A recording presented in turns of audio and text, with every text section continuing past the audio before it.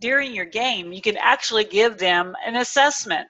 So they take it before, during, or after the game is complete.